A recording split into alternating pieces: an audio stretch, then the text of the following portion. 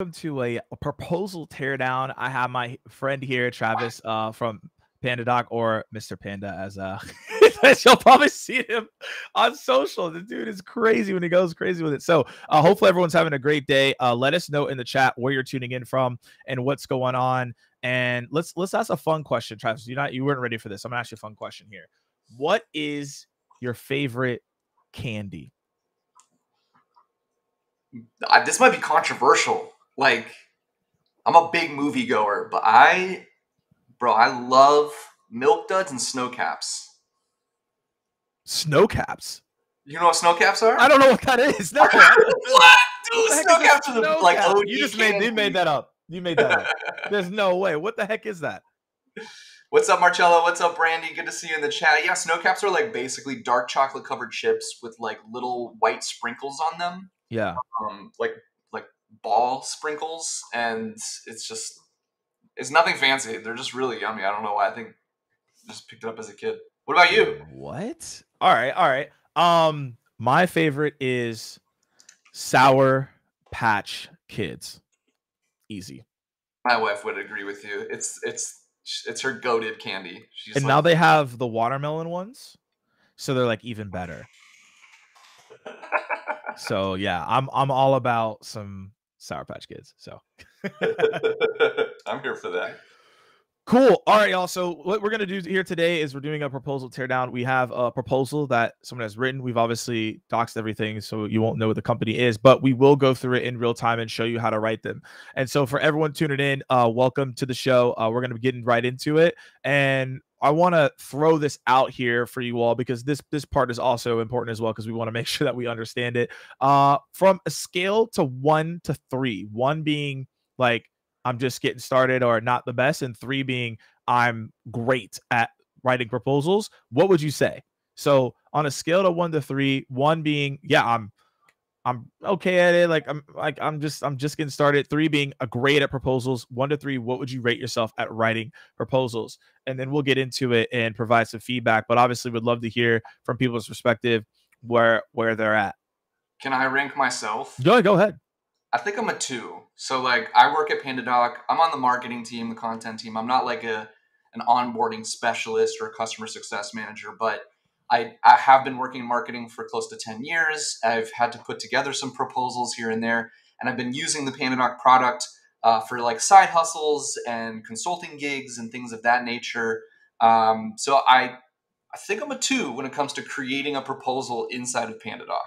Okay. I put I put myself at two. I don't think I don't think I'm like three. Oh my god! Like, but I think two, probably two point two. Maybe if I had added a little bit of extra juice to it, right? at two point two there. Um, but a lot of people looks like they're just getting started. So Sweet. the the goal here, uh, for everybody listening in, is if you are a one, right? If you even put a two, uh, the goal is to get you from a one to a two. And I guess Marcella for you, a two to a two point two. All right, we'll get you a point two up. We'll, we'll help you out there. So again, if the goal here is if y'all have questions, if you see anything that you want to uh, to ta- talk about, feel free to put it in the chat and we will go into it. Uh, but Travis, what? Let's pull up the screen. Let's go into it right here. Let's do it. I had to give that shout out to Marcello. two point two level up. Let's get it. All right, I'm gonna go ahead and share screen. You'll you should see it pop up, um, and then you should see um, Morgan and I in the in the bottom right corner. But I'm gonna be kind of screen sharing, and Morgan, I'm gonna let you kind of walk us through like this is an actual proposal from a PandaDoc customer. Now, I did remove any identifiable information just because it's secure information, and we didn't want to do anything, you know, not cool or kosher. But this is a I honest to God PDF that somebody had been using and especially used on May 22nd of 2019 and then our customer uh, success team and our onboarding specialists worked with this customer to um, bring it into PandaDoc and that's kind of what I'm going to do today so all I did was download this as a uh, docx file a Word doc um, and then drag and drop it into PandaDoc and this is what it looks like I'm now able to like edit things um, but I'll scroll through and we can kind of take a look. Uh, looks like we've got the cover page here or some sort of just like introduction with the date. Looks like the first section goes over scope and pricing. And, and Morgan, like, feel free to stop me at any time if you want to like Yeah. Focus on something. Given the overview, and then we'll go back up. Okay. Looks like they go into some pricing here. It looks like they talk about the different tiers that they're going to offer, and I think they they have this as like a tier one. So this is a web hosting or web maintenance agency. That's who's creating this proposal for a client. I named them Hey Jude, and the company is The Beatles. Um, our fake company that Morgan and I started is Prestige Worldwide for any stepbrothers out there. As we build this document template inside of PandaDoc, um, it looks like they've got some pretty like you know interesting pricing here, of like do quarterly, some prorated stuff.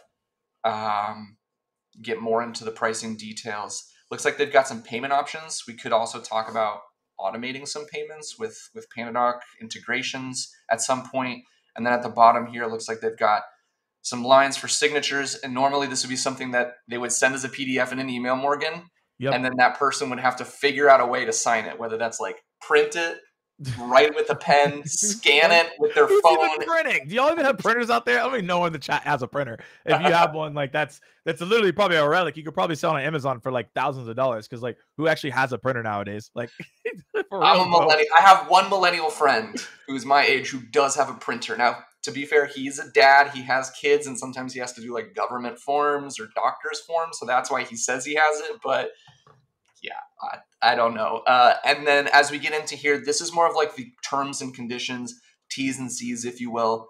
Um, I've got an idea of what to do with this to just make it a little bit more uh, easy on the on the recipient, and we can get into that. But it looks like it's it's about eight pages. When they upload it into PandaDoc, it'll be one really long page, and I will go over how to like add page breaks and stuff to just again make it more digestible. But that's the okay. overview now. Let's okay, so let's let's start from the top. This is one of the most important things when you do a proposal that is not here. All right. So if you scroll down, Travis, a little bit and go to the scope and pricing. Okay, so they have the scope here, but here here's here's the problem. They're not they're not addressing what the problems were current state future state right i mean some of y'all probably read gap selling and i'm not, I'm not going to go into into the whole spill that what keenan does it the best there but what i'm saying is that when you have a proposal you have to tell people okay what what are we trying to solve before you tell them what you're going to do? You have to reiterate that. So one of the most important things for everyone to remember if you're creating a proposal is the proposal is not for the person you're sitting to it's the person that you haven't met yet. I'm gonna, I'm gonna say that one more time because it's really important for you to remember that is the proposal is not for the person you're sending it to, it's for the person that you have not met yet. And so if that is the case, that means that we have to articulate what are the problems that we agreed on up to this point that you're solving um, and it could be anything right i mean from a sales perspective it could be like you're increasing their revenue you're increasing their cold call conversion right maybe it's increasing their social lift or and in this scenario what they're doing it's like a whole thing around their environment and, and their website, etc. It looks like this on there. So you need to talk about what the problems were. Like, did they not even have a website? Is the website they built not good? Right? What happened before you get to the scope and pricing? So for everyone here, uh, if you're taking notes or whatever it may be, I would I would tell you that you need to figure out what are the problems, right? What are the challenges that these individuals are going through before we go ahead and start talking about what the scoping is. And you could do that in a multitude of different ways. I find that what I'll do is just say current state, and then I I'll list like maybe two to five things depending on how much it is. Three typically is the best, but two to five is like optimal. And then at that point, it's like future state. So like, what are they looking to accomplish? Then we start talking about what the deliverabilities are from there. But we we can't do that unless we focus on the current state and the future state. So if anyone in the chat wants to further elaborate on that, or again, you get it, shout out to David who said noted. But Travis, I don't know if you have anything you want to add to that. I think that's extremely important. And one of the things I, I like to do occasionally as well is go over the proposal on a Zoom call. We do have a Zoom integration with PandaDoc, so you can you can actually bring up the proposal and walk through it, right?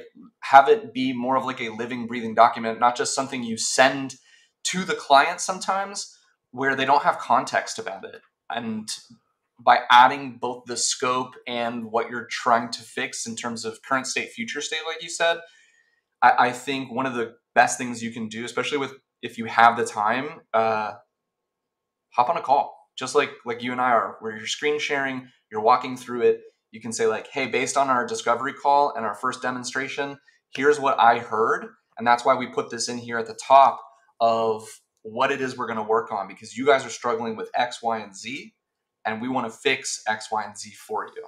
And here's how we're going to do. that. And then you can get into the scope. Like, here's how we're going to do that. Yeah, because if you just hop right in, it's like okay, cool. And again, could you have agreed upon that on the discovery call? Sure. Could you have already had that in an email somewhere? Sure. But goal is is that when you're looking at this you want people that have not even been in the conversation yet to realize that oh this is what they're doing this is where they're going very critical point for everyone here to again take note of and to take action on so again if i'm looking at this from the very beginning we need to put that uh, uh across the board absolutely okay so cool while you were talking, the only thing I did, if the audience was like, "What's Travis doing in the back end?" I just created a cover page, added in uh, our fake logo, just something to be a little bit more presentable. That when you send it over to them and they open it, you know, via email or via link, um, there are two ways to like send a document right now. Currently with PandaDoc, you can either email it to them. They'll get an email from PandaDoc and saying like, "Travis and Morgan created a proposal for you." or you can send them a link if you're going through the deal in the DMs, you know, on LinkedIn, or you're you've been texting about the deal. You can send them that link that way. Um, but this is just a, a simple cover page uh, to say like, who did you create it for, uh, or who was it created by, and who was it prepared for. And the, only thing I'll mention here before you get back into it, Morgan, is just like what are these highlighted variables inside of the PandaDoc tool?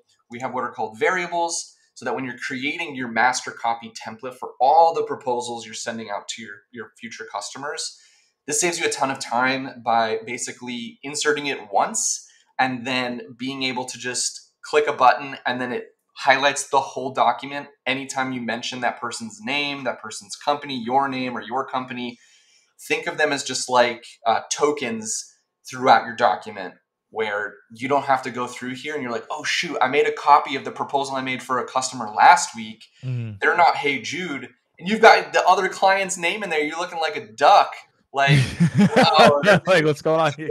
So it's just an easy way when you're building again your master template, your master copy of your proposals. Variables are a huge time saver. You just come in over here and you can see there's a bunch for the client, everything from their company to their phone number you can pull these in from a CRM if you're using one.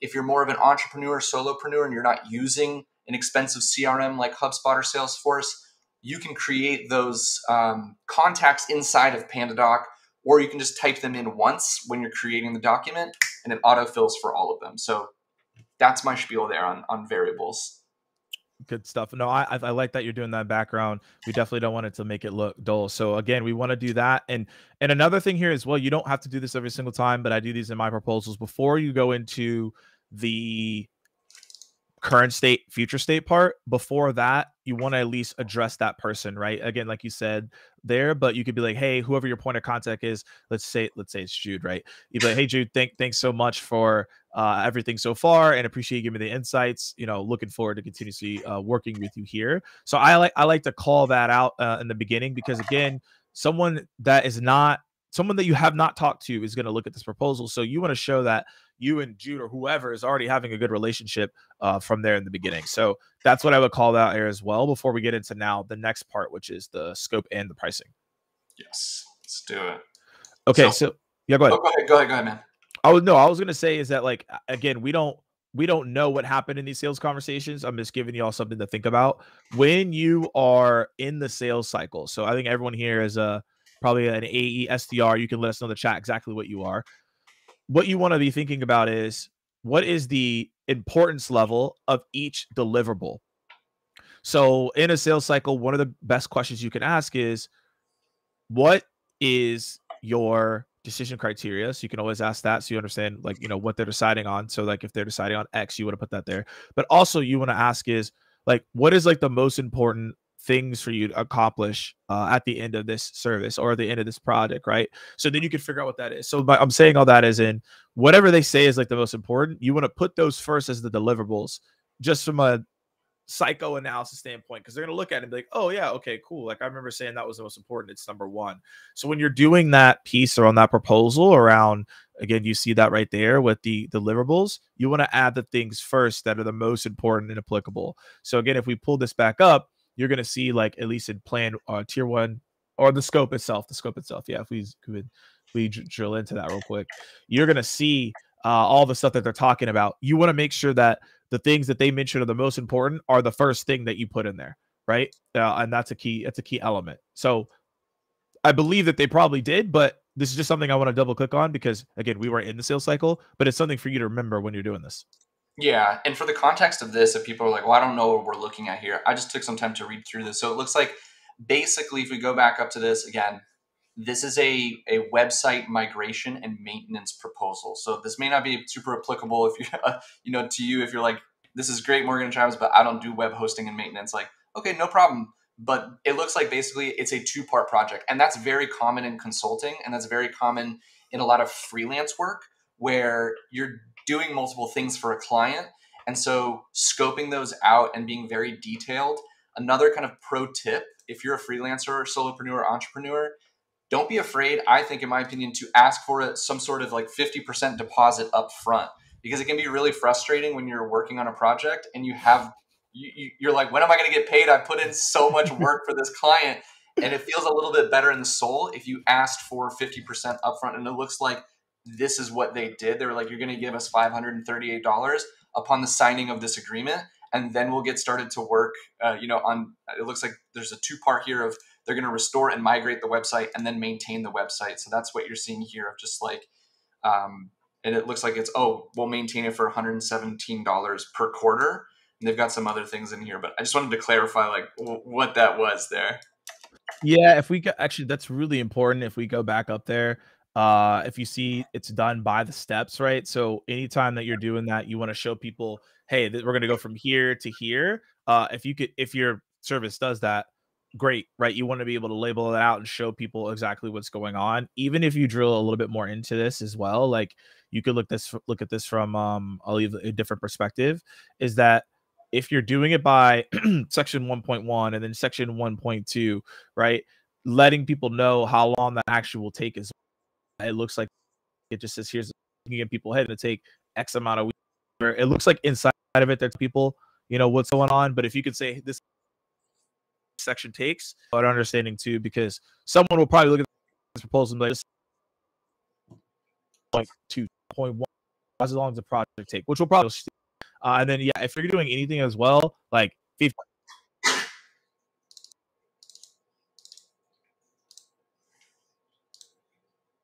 Did I lose you? I'm here. I'm here. You there? There we go. Yeah, I'm here. Okay, cool. Yeah, I'm here. So the last thing I heard you say was So- making making sure you put out the timing of like how long things are going to take because that's super important. That's a question that comes up all the time when you're working on a proposal. Is like, this is great. Yeah, you just want to put that next to it. Yeah, Absolutely. Like, They're gonna ask. They're gonna ask, so you want to put it there. I think one thing that I might do differently here, instead of how the client uh, had originally done this, uh, Morgan, is if I wanted to get a little bit more nuanced and just make it a little bit easier for somebody to look at, is I'm just going to add a little text block here, and then let's add a pricing table. Oh wait, let me go back and do this here. Do a pricing table on a new page here. And what one of the cool things about PandaDoc is this is great. This is a great start, but it's a little bit hard for the recipient to like look at this. If I were if I were to get sent this, my brain would immediately be like, "Bro, you're asking so much from my cognitive load right now. Like, can you just simplify it?" And so one of the ways I might do that is with a pricing table coming in here. I'm going to go ahead and just disable this. That's if you wanted to connect it to a CRM. But the first part of this project, if I can remember correctly, was restoration and migration. And I'm just going to put that in here. Oh. Let's see. Undo real quick. Didn't like when I copy and pasted it. It did not. So let me disable this again. I'll write it in this time. Oh, didn't like it again. I'm another pricing table down here. Okay. Restoration and migration. And I spelled migration wrong. Okay. And then this is where I would put in the description of what it is. And then if I want to do more, like the, that second product, I'm going to go ahead and insert another row below. And I'm pretty sure that one was maintenance. So we'll come in yep. here and I'll write maintenance, if I can spell that correctly. Good Lord. Um, and then we can say like, okay, this was going to cost $538. And then this one is going to cost, I think they said $117. So just something to make it a little bit more like user friendly. And again, this is a really basic one. Spend a little bit more time. I don't want to like bog you down and slow you down, Morgan, but no, this is good. a way where you, where you could just make it uh, a little bit easier to read. Um, and it looks like right now it's in Polish zlotys. We'll switch it to dollars. Um, you can add in a little tax here. You can add in discount. It'll auto. Like let's say if it's like, hey guys, if you um, if you're able to sign within the next 10 days, we'll give you a 10% discount. But it's a time-based incentive for you. Um, in here, you can also add in what the description are. So you could you could copy and paste all of these different things and put it in the pricing table. Um, or if you wanted to just keep it as is, you could do that as well and just kind of have the scope be like this. This this might be how I I go about building this page. I um, think I think as you're building it, I think it's smart a smart move, right? Because like you said, a lot of it is clunky, and you're right. So if it was a table and I could just quickly absorb it, anyone else again, right? We don't know. Some people we don't know. They could absorb it. They don't get stuck in this section.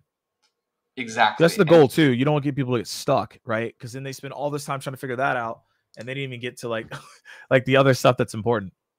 And here, one of the things I really like when I send out proposals as well to to some some of my clients is I'm able to make it optional. So it's an interactive pricing table. So I can say like, hey, you know, you don't have to do maintenance with us if you don't want to. You you can just do just the restoration and migration. But I've noticed that when I work with clients, it's always nice to give them options and you can talk about it, like I said, on that Zoom call where you're going over the proposal. You can send it to them. But I've been able to upsell more services this way and make more money as somebody's sending over proposals. So I can say, like, hey, for maintenance, let's start out with six months of maintenance. And then as you can see, it auto populates the, the pricing table there. But you can let them decide what they want to do. And that's that's a cool little feature. I just wanted to point out real, I like real that. quick. I like that. All right, so I think I think I think now we can go to the payment details, and even even here, you I mean you could even do the same thing you just did, right? I mean, because it also feels like it's it's it's clunkyville, um, because yeah, I feel like you could do a table again. What do you think? I think this is what I would do here again.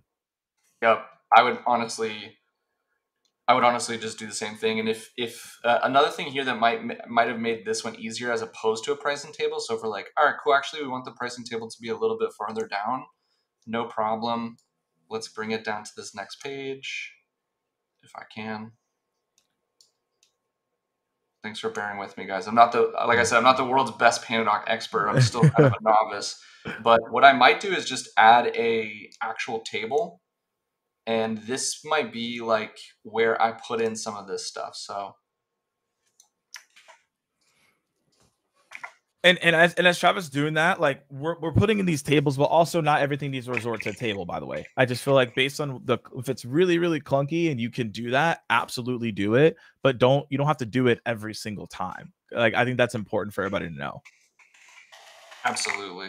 Because then you have table, then it's this table overload. It's like okay, like look, we don't even do that over and over again. I think this is going to look a lot better. And if anyone, as we're doing this, has questions, feel free to drop it in the chat. Uh, we're obviously open to answer all the questions here that you'll have.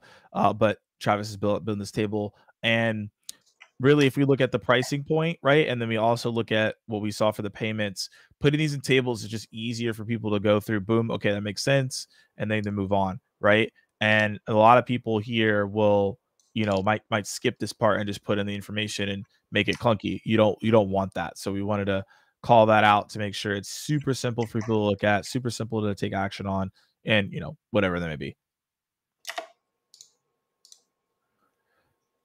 And then as we're looking at the next section that we're about to go into here in a minute, you're going to see as Travis is cleaning this up, this will allow us to even make modifications if we need to later. Uh, I like the fact that we can go in here and, and the client can actually add some pieces too, just in case if like, you know, we want to change that up. So I think that's another good additional piece too. All right. So to go back through, and again, on the left hand panel here, you can kind of break down and see your pages one at a time. We've got our scope, right? So this is showing them what we're actually going to be like working on. And we've got our pricing. And again, I think this just is a cleaner look. Yep. Um, this just has like the payment schedule. And I think we can actually just get rid of that. Bring that up here.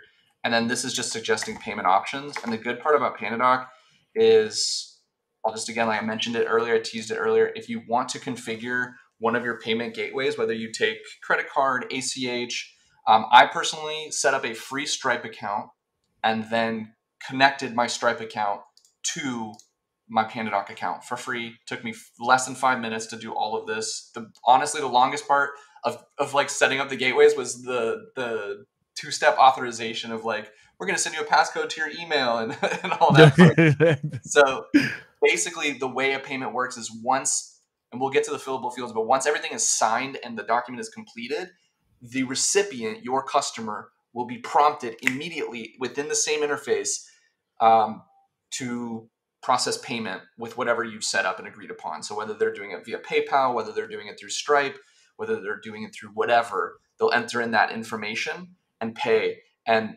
there is no better feeling than seeing like a notification of like signed, sealed, delivered, and then payment all at once. There's no like, hey, we invoiced you. It's going to take three weeks. And you're just like, I, I need my money now. Yeah, he's, he's like, give me that money. What are y'all talking about? Yeah, I know, 100%. And uh, let's go. So, again, if y'all have questions, feel free to put in the chat. We'll answer them. So, Arrow's got a question here.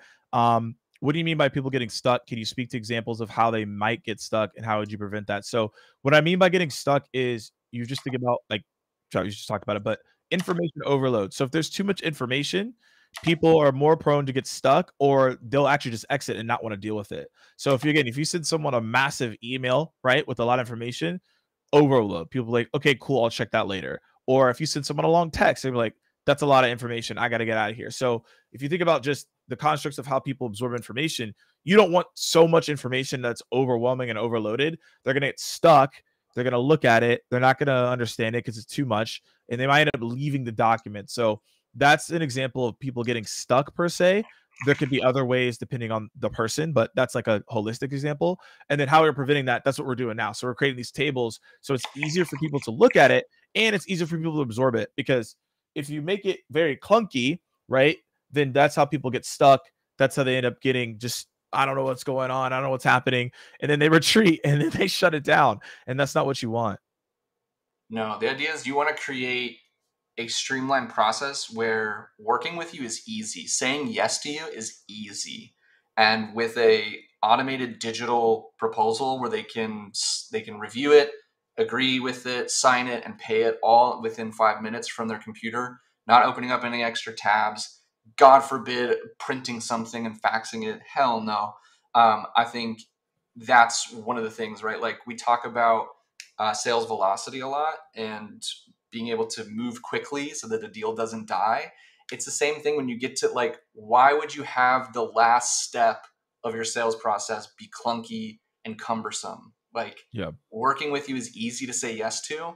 And then hopefully renewing contracts with you is also easy to say yes to. Yeah. So, um, while Most, you're talking, Oh, go ahead. Go ahead. No, no, no. I was always going to say is most people, even to comment on Eric, because I think this is a good point. So everyone listening in, this is something to take note of. Most buyers, most people that are buyers, will won't move forward, and it's not because that they sometimes don't have the budget. It's not because that they, um, you know, don't have the you know access to go get it or whatever it may be. It's because they you made them confused or you had them stuck somewhere. So if you think about the buyer, there's millions and millions of tasks that they need to go execute on. So if you don't make it easy and simple and they get stuck, they're gonna move on to the next thing that they need to go fix. So that's that's what we're talking about there, and I think it's a good it's a good clarification point. That's what we're talking about there, and like getting stuck. Buyers won't buy because they're like, this is confusing. I don't get it. I'm stuck. I don't have time to figure this out. See you later. So the yep. more clean, cohesive, clear you can make it, the more clean deals you'll get. Um, just make that up, but clean deals, yeah. like we want clean deals. We don't want dirty deals. We want clean deals, Travis. I mean, unless you're in like the cartel or the mafia, but we, we don't personally serve. Is there a LinkedIn mafia out here? I think Max Cohen would be in charge of the LinkedIn mafia. um, so one of the things I just wanted to point out here is when you create a template you're automatically going to have a client as the signer, but you're going to want to make sure that you assign the sender so that you can sign and initial and date these as well. So just, that's all you're seeing me do here. And I'm going to go back to just like some text fields. Actually, a cool little feature that you can do is, is you can go to the settings here. Instead of enter value, um, you can just write name and do the same right here so people know what the heck they're entering in there. And then one thing that I wanted to do as well was page breakout actually that bad boy. And let's talk about our T's and C's because that's all of this like legal jargon text that nobody ever wants to read. Um, one of the things I recommend doing is creating like an actual separate document. So with PandaDoc, we can come in here let's come in here. Let me rename this as terms and conditions.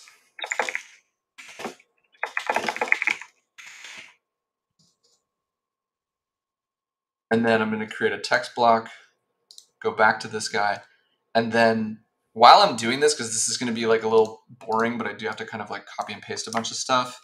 Do you want to walk through any best practices or ideas that you, Morgan, usually have when it comes to because this can be really scary for people who are just getting started with a yeah. proposal. They're like, I don't know where to get this, or like, yeah. what should be what should be in there? I don't know. How do you? Let's usually... dive into it. Arrow's got some good questions, and if y'all have questions, like be like Arrow, you can drop it in there. And also as well, uh, for everyone that is listening in, if you're finding this helpful or insightful so far, let us know in the chat too. You want to make sure that we're giving you helpful information as you're sitting here hanging out with us. Uh, but uh, no, uh, so the thing is like I think it's called the um it's called the expert's fallacy. I don't know if you've heard this Travis before. So the expert's fallacy is essentially when you know something that you've done something a lot or you know something very well and you assume everyone else knows. And so in this scenario with this question, like yeah, there's a lot of things where it's like, oh yeah, that seems simple to you, but not to others. And people fall on expert's fallacy because they don't they don't assume that other people hey may not know this, so you get to share it. So that's that's what I put out there. Anyways, uh, to answer this question, when you're thinking about that piece, it's more so around tell, asking people how much time do you spend on this thing? Right? That's how you're able to actually get a lot of information out of people and, and get them to change. So if I said, all right, I'm talking to old school leadership, for example, right? And then they're like, oh, I, you know, I don't want to do this new thing. I don't want to implement pin. I don't want to do all these different things. Okay, cool. So instead of forcing them on like, hey, this is why this thing is awesome, feature benefits, etc., you could do that. But a better way of doing it is saying, okay, how much time does it take you to do this process today? Oh, well, this takes us like seven hours, eight hours, right? And then it's like, okay, well, again, it, it might take us, you know, a couple of weeks or a, a month to get this change. But what if we could get this from five weeks five days, five hours, whatever you're doing, how long it takes you to do something. What if we could reduce that to a day, two hours, a minute, etc. And then it's like, here's the next step of that. It's if you were to get that time back, what are the other things that you could do, right? That is highly important that this process is slowing you down with. So that changes it, right? So every every executive has an executive bonus that they get at the end of the year. So if you were able to show them a technology that gives them their time back to hit that bonus and focus on that rather than these other minutia things, they're going to be way more open to it. So it's all about positioning of getting them their time back and letting them know the sales velocity would not only get them their time back because they have to their processes are old, so they're not actually able to get the data. They're not able to get certain things. It's delayed, so they can't be as actionable. They can't forecast as they want to because it takes too much time. But if I get their time back to do these certain things, right, and they were able to focus on it, right, they're going to see more success in the long run. So that's the way that like I think about these things. You have to position it and let them and let them understand um that that it is. Uh Arrow, so the thing is like yes, but also as well it is their it is their time being wasted because you're positioning it as a, it's taking ex, it's taking them a long time to get the processes done, right? So because someone is taking a long process to get it done, it's they get delayed information, which is also their time wasted.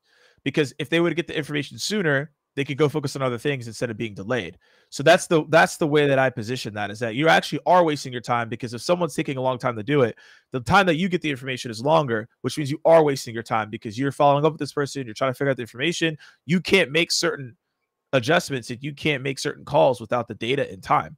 So it actually is wasting their time because you could get it sooner. But now you're just delaying time you just wasted five weeks to try to get information. What could you've been doing for this five weeks of time because you didn't change this process? So the conversation changes completely. So yes, they're not doing those actions, but because someone isn't doing those actions faster, they're actually losing their time because of that. That becomes a different conversation. If someone is taking five weeks to do something, I just lost five weeks of decision time. That's a lot no, Aaron, you're all good. That, I'm just I'm, I'm pressing on the point, right? And I appreciate the follow up there. But that's like that's like the way that would go down. So that's that piece there. Uh, so hopefully that helped answer the question. Again, if you know any questions or proposal, throw it in. But I'm gonna give three tips here as Travis is doing wizardry in the background as y'all see it. But number one, when it comes to the proposal, uh, if you can, I talked about this in a post, do a video proposal. That's a big one there. Do a video proposal. That's a huge key. Uh, to walk through a proposal is going to be game changer. Game changer. So when you walk through a proposal, some of you are like, okay, like, you know, what does that mean? You do a video overlay. You could do, there's a ton of video tools out there, right? You got the Vidyards of the world. You have Loom, right? Vouch. There's a lot of video tools. Whatever you decide to pick is whatever you decide to pick. In picking that tool, you're going to go through and add context to the proposal already. Now, someone can read a proposal and give interpret interpret it how they want to, but the goal here is that when you do a video proposal, right, you want to be able to walk someone through and show each part of the proposal. But Travis, you're going to show something about the video real quick. Yeah. So one of the things that I've seen people do really well is they'll embed a video they recorded either in YouTube, Vimeo, Wistia, or Vidyard walking through the like let's say this is really complex right? So you send this to somebody and they're like i don't know what the hell this is. You put together a 30 second video and saying hey for the restoration basically all we're going to be doing is taking a wordpress install from a ThemeForest like theme and then walking them through like just again the stuff that's a little bit more complex. It gives you that really personalized touch and i think it's super powerful. I've used it before as well to just put a face to the name and show people that I'm legit. I'm not like a scammer. I'm not a weirdo. I'm a good person that just wants to help them. And going with that extra personal touch, it's like chef's kiss. And, and, again, let's add to what I said. I'm gonna say this over and over again. I hope this is like the one thing. If you don't get anything out what you say, is the proposal is not for the person you've been talking to. It's for the person you haven't been talking to. So again, to Travis's point, if someone hasn't gotten a call with you, let's say let's say the CFO is watching this, right? It could be one of the executives that you don't even know is actually a decision maker for whatever reason that you maybe missed out on it, or you know that sometimes it happens. If I send a video and they see me talking through it, they're like, "Oh, you know, good energy, good person, etc." Those things play into a factor, and they could, they'll know who you are, especially if you're selling a service or something like that. You definitely want this is like 100. percent You should do this every time, time. But even from a product standpoint, you want to walk people through certain things because you want to be able to say, "Hey, I know you saw this, but here's what this means," or "Hey, I had this image in here. Here's what that means." And that's number two is like images or graphs or charts. Anything you can add there is always great if you have it. People love a good chart. People love some good data. So if you could show those things, people are going to be way more open to absorbing that information and commenting on that information. So it's another thing you can be doing as well. The third thing that I would add in terms of when you're doing these proposals and paying attention to is making sure that you do have some case. Uh, I would say just customer stories. It doesn't need to be like an actual legitimate case study. Show like, hey, when we did a project this before, here's what we did for this person. Here's how we went about it. Here's what we did, etc. Right? That's another way of of taking action on this as well. So I'm giving you all the different components of how you can start thinking about proposals so far. But Travis, I know that you. Oh, what up? I know you've been building all this stuff in the background to show us what you completed here. Yeah, so one of the things that I do is so I run PandaDoc's podcast, and sometimes I'm reaching out to guests that are pretty well known. They're in very established organizations, and so they get invites and spam constantly. And so one of the things I do is when I send them a PandaDoc proposal, I actually record a video and then embed it into the proposal to do exactly what you said, which is in this case, this woman that I wanted to have come on my podcast she was working for the Major League Baseball team, the Tampa Bay Rays. And she was already inclined to say yes to me because I had a warm intro, but her team was like, who is this guy? Where does he work? So it was for the people who had I had not been talking to at all. And they were like, oh, okay, I see what he's doing here. He wants to bring us on the show. Mm-hmm. Okay. This is what he looks like. This is what he sounds like. And I just tried to put a, a you know captivating thumbnail showing my podcast, showing their picture, showing me, and something that one in one minute I was introducing myself, talking about why I wanted them to come on the show, what they could expect, and why it was easy to say yes to. So th- that was a, a, just a marketing use case right, sure. I thought was cool to share. Um, and I, I, you can easily embed them in here.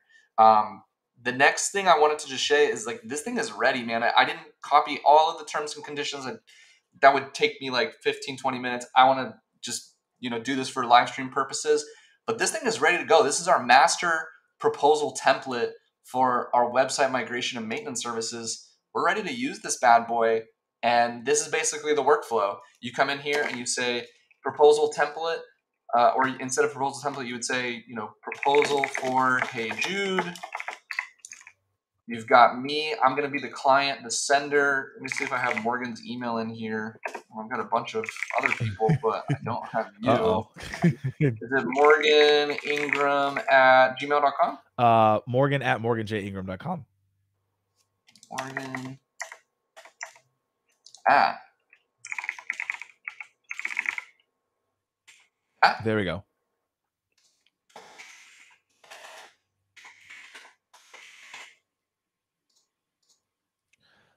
And as as this is going here, y'all can let us know how we do on the proposal in the chat. Uh, let us go on, but but we're about to show y'all the the completed copy here. Yeah, exactly. And so in this case, I didn't have an assigned company, but I can just do that right here and just click. We're gonna pretend that Morgan works for Hey Jude. you can see my name auto populated here with my company name, Prestige Worldwide.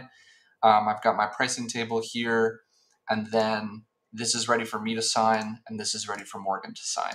And as I said earlier, when you send something, you can send it either via email, you can do it via link, or a third option is if you're out in the field, you can sign in person using a phone or an iPad or any kind of device like that, which is pretty cool. Um, and then this is your chance as well if you want to you know make suggestions within the document you can kind of go into suggesting mode as you can see it changes here and you can add your comments in a chat here. This is something like if I'm collaborating, you know, let's say Morgan and I are, are getting ready to pitch a big prospect and we want to make sure that you know we're on the same page like hey travis we have a hundred dollars an hour here. Let's actually maybe switch that. We can all comment back and forth in the document. I don't have to like hop you know look at his slack messages or emails or anything like that.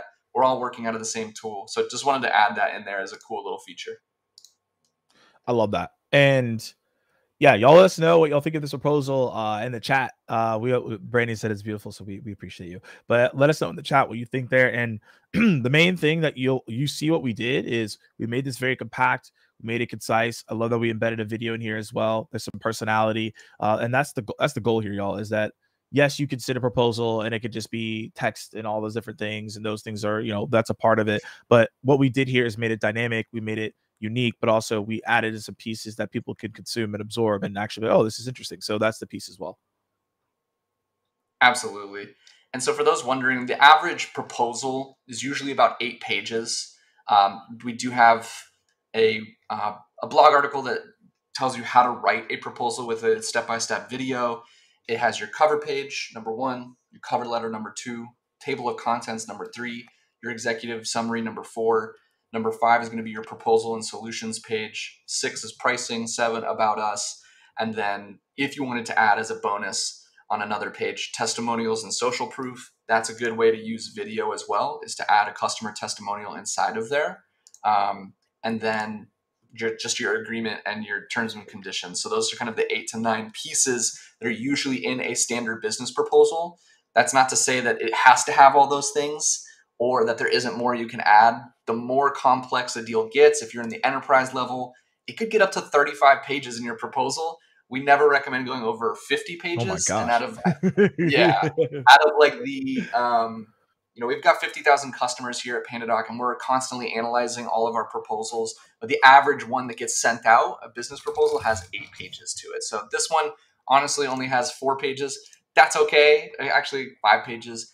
It was again for demonstration purposes. We're kind of going through this quickly. Um, but yeah, that's that's kind of it. So as I share my screen here, I went to go hit send. As you can see, I have that payment option. It's saying, oh, you need to assign a payer. So what I'll just do is I'll go ahead and just get rid of the payment for now. Um, go ahead and do this. Go back to the commenting. Let's see. Let's see if I can get rid of the payment. I want to go back to editing mode. Okay. Remove payment app. Go down there. Send. All right, and so this is basically, if I were to send this out, this is what it would look like. It comes with a um, subject line. I can uh, I can actually use save messages, which is pretty cool. So that saves even more time. So I can say like, "Hey Morgan, welcome to PandaDoc." I spelled your name wrong. Gotta have those templates. There you go. Go ahead, and again, if I want to send reminders, if I want to be on top of whoever I'm sending this to, I'll remind them one day's a little aggressive. I'll go three days and then I'll repeat every week until it's completed or expired. I would hit apply to save my email. I'm just going to go ahead and send it. And then I'm going to pull up in a new one what it would look like. So the document has been sent. And now it's my time to sign this. You'll see that it goes into sent mode up here on the left. That it's time to fill out and sign this bad boy. And this is basically what your end user would see. So I just wanted to show everybody. Um, I know we're, we're running out of time here, um, but I would hit the start. It would bring me down. Here's where I would type my name in. We can't we can't see it because I'm not sharing the right screen. That would be helpful, right? oh yeah, we got to make sure everybody's good. and as Travis is doing, if y'all have any final questions right here at the last 10 minutes, now's your time to ask any questions, whether proposal, sales, etc. I know we have a couple people tuning in here, so let us know if you do have any final questions. Uh, we're more than happy to answer them as we wrap up. All right, you should be able to see it now. We can. Um, this is this is like what your document looks like from your recipient's point of view. That's one of the biggest questions we get. Well, I want to know what my recipient sees. This is exactly what they see. They get an email, and then they click a button in that email, again, or a link, or in person, and then they see this screen. They can go to finish It'll scroll right down to the part they need to get to. You're probably familiar with that. You can draw, type, upload, or just write in your signature. Y'all can see my sloppy signature there. Add the date. Do it again here for that terms and conditions that I reviewed so thoroughly with my lawyer. And then hit finish. And then boom, now it's on Morgan. I've done my part. The other person now needs to sign it. I usually will sign first when it comes to my uh, things that I'm sending out. So that way the ball is in their court. There's no uh, delay. So now it's like as soon as the recipient signs, I've, I've got my payment integration set up. They're also prompted to pay. And boy, that is a sweet moment when that. Yeah, happens. you know, the, the, the payment comes through. You know, kid, how could you not be excited about that? that's it, man.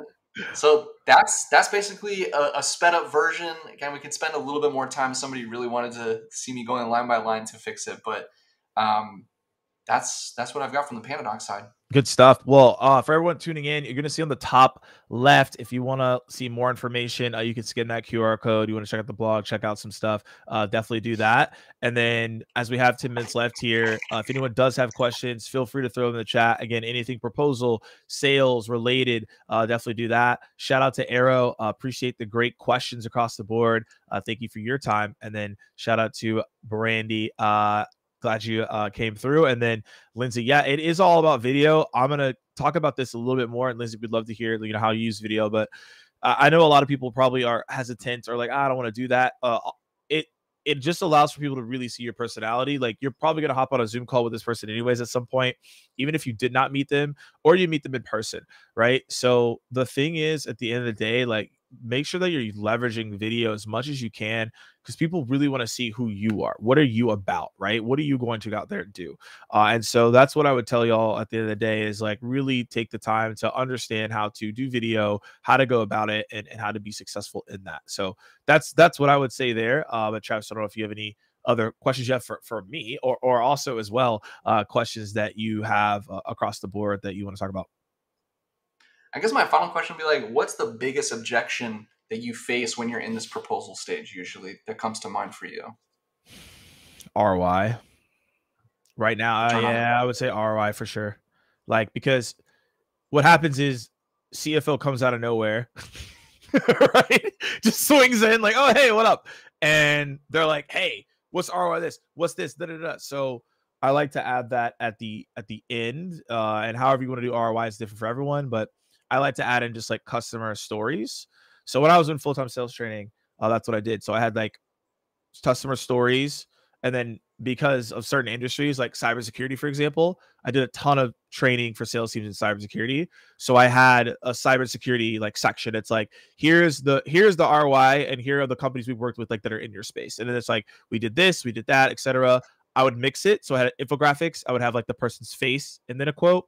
Some of them would be videos, and some of them would be regular text. So they got they got everything to know like this is legit. Now, as I'm starting my business, I have been collecting those. It's not as obviously well tuned out because I was doing sales training for like three and a half years, four years. So now I'm just doing the same process again, collecting results, putting it in proposals so people know the ROI is there. I know that a CFO is literally just going to be like, what are we getting? How much does it cost? What's the ROI? There's the three sections they're probably going to look at. So biggest objection that you're going to get, especially in this environment. Could change, but especially in this environment. And then I mentioned it earlier. The other objection you're going to get is from end users and uh, especially executives is like, how much time is this going to take my team? What is this going to take them away from? So when I said earlier, you need to do the time on stuff. I, I try to aim to do that as, as much as I can because sometimes I give ranges because like it's hard to say this is going to take three hours unless you have been doing it a lot. Which again, if you're starting something new, you don't know yet. So those are things that I would say there. Say there. Beautiful. That's very helpful. As somebody that's more on the marketing side of things, I don't have to deal with these objections quite as often. So I'm always curious about like yeah. what comes in. It's like I tried multi-threading that CFO from the oh very beginning, but they kept declining my calendar invites. But now they're here. Now that it's like about to go across the finish line. But I think uh, my advice as well is like don't be you know don't be too uh, frustrated or uh, hopeless when it comes to that point. It's gotten gotten that far let's let's see if we can make it happen. Exactly. Right. People are asking about pricing. It's because they're already thinking about buying. Exactly. It's a good sign. Yeah. Cool. All right. Well, I like this quote. I'll leave it here uh, from Lindsay. One of my biggest takeaways today that I learned from you, Morgan, was like, it's not for the person you've already met with. It's for the key stakeholders that need their attention uh, when you're building out these proposals. So thank you so much for sharing that, Lindsay, and thanks for sharing that with me, Morgan. Yeah, you're welcome. Always keep that in mind across the board. Someone's question here is, "What's been your feedback?" What it, what exactly do you mean by that question? If you could elaborate, like feedback on the video proposal, the feedback on the proposal we just made. We don't know yet. We just sent it out. that was a, that wasn't a real one, right? So uh, we got to figure out what exactly that, that meant there.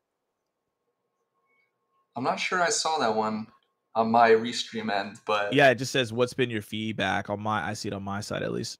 Oh, okay, yeah. See that one? Yeah, from Nikeli. Yeah. Hope I'm saying your name right, Nikeli. Um, I'm assuming maybe that's the video proposal. I'm assuming that's what it means. I've got nothing but incredible feedback from my video proposals. People are like, I've had multiple people when I send out uh, a video proposal or a video in, in, embedded in my proposal. Oh, he's talking about on previous wins. I think I'm just going to talk about my my wins when it came to video oh, proposals. Oh, like, yeah.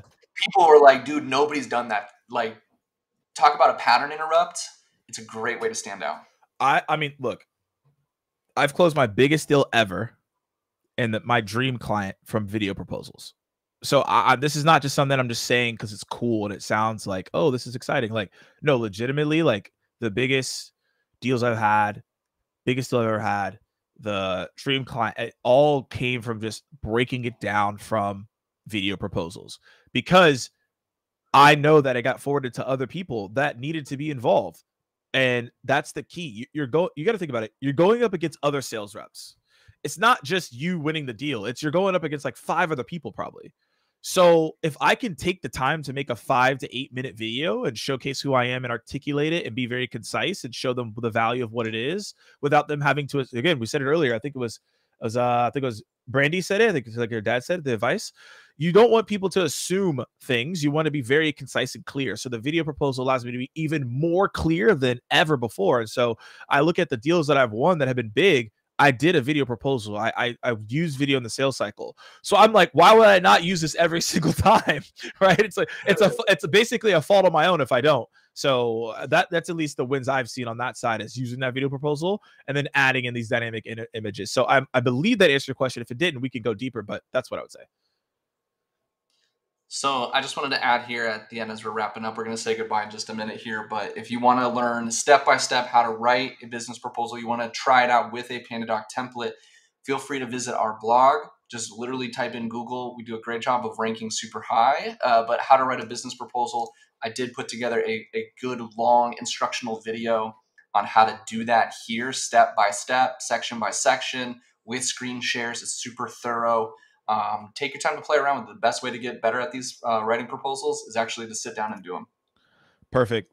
Um, awesome. So we answered that question. If anyone has any lasting questions, feel free to message us. Uh, hopefully, you all found this session to be helpful on how to write a proposal, go about it. Maybe you got some new takeaways from this. That's the goal. I always tell people if you listen to something, a webinar, a live stream, whatever, if you get one or two, one or two things out of it that you can go execute, it's well worth your time. So hopefully y'all enjoy this. We'll see you all on the next one. Travis, anything you want to say before we get out of here? Appreciate y'all. Appreciate you, Morgan. Adios, everybody.